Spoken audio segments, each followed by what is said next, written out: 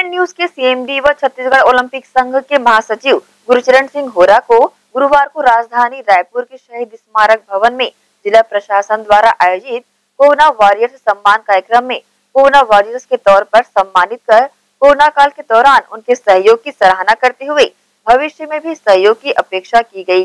और तलब है कि कोरोना संक्रमण काल के प्रथम व दूसरी लहर के दौरान जब पूरी राजधानी लॉकडाउन का दंश झेल रही थी तब गरीब रोज़मर्रा की ज़रूरत की चीज़ों के लिए दर दर भटक रहे थे। भूख से गरीबों के बच्चे बिलख रहे थे। उस दौर में ग्रैंड ग्रुप के सीएमडी गुरुचरण सिंह होरा ने अपनी सेहत का ख्याल नहीं रखते हुए अपने हाथों से राशन की थैलियाँ लेकर गरीबों का सहारा बन गए थे।